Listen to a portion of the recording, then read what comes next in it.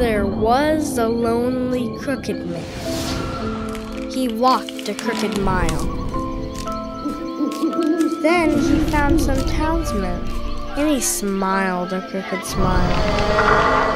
He offered them his friendship and a flower deep and red.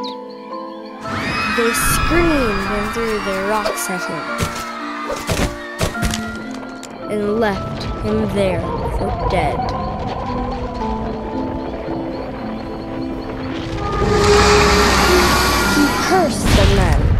Rose from death to take their scared children. If he's near and he smells your fear, there might be a figure walking down the hall, or a crooked shadow on your bedroom wall. But if he's really out to get you, you'll hear a crooked bell. Then he'll drag your soul down to crooked hell.